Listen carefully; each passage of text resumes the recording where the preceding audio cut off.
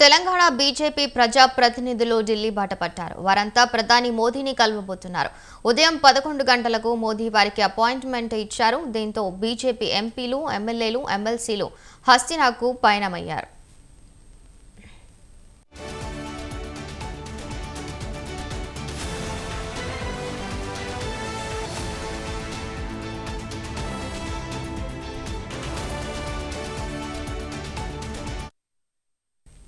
Parliament సమావేశాలు జరుగుతున్న నేపథ్యంలో బీజేపీ ప్రజా ప్రతినిధులు అక్కడికి వెళ్తున్నారు.